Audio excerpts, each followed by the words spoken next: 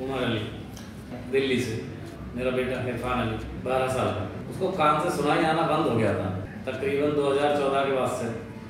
उसकी सर आँख में एक गांठ सी बन गई थी। हमने उसका ट्रीटमेंट कराया, फिर दूसरी आँख में निकल आई, फिर ट्रीटमेंट कराया। तीसरा ट्रीटमेंट होने के बाद धीरे धीरे उससे कान की शक्ति सुनने की जा चुकी है। अच्छा हमने डॉक्टरों को दिखाया। डॉक्टरों ने कहा, जी, इसका कुछ नहीं हो सकता।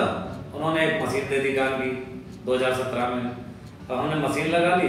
मशीन के बाद भी फिर धीरे धीरे 18 आते आते मशीन भी जवाब देने लग गई। और हमने कई डॉक्टरों को दिल्ली में दिखाया यूपी में भी दिखाया, हरियाणा में भी गए।